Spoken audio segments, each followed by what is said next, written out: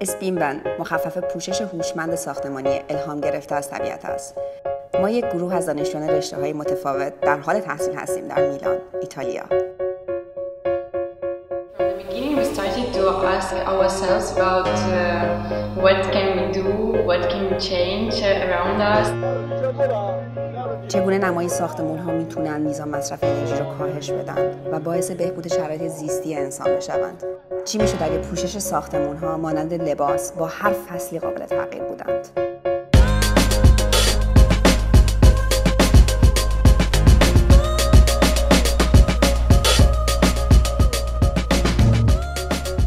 نوآوری در میان منسوجات هوشمند و ساخت دیجیتال می‌تونه روش های ساخت و ساز ما را در آینده تغییر بده. What we ultimately found was that using 3D printing on a pre-stretched textile can generate all sorts of different forms. الگوهای چاپ دو بعدی مانند دی هستند و در نتیجه از آنها انواع زیادی از اشکال سه بعدی مرتبط به وجود میاد.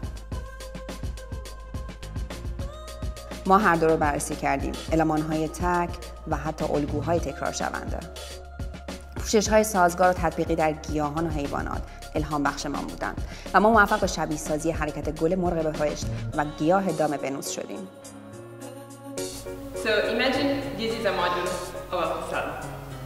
One of the biggest challenges of our project is how to make it bigger.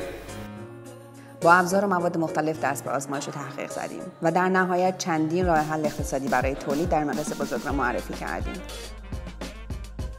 شروع کردیم به تصور این اشکال به عنوان آفتابگیر در نمای ساختمان ها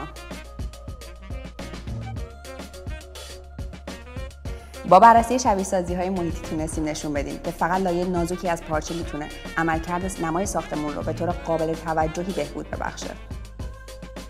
و در آخر اسپین فقط در مورد ساختمون ها نیست بلکه در مورد روش جدیدی برای تولید فرماست که می‌تونه به طور قابل توجهی بر بسیاری از رشته ها و زمینه های دیگه تاثیر بگذاره.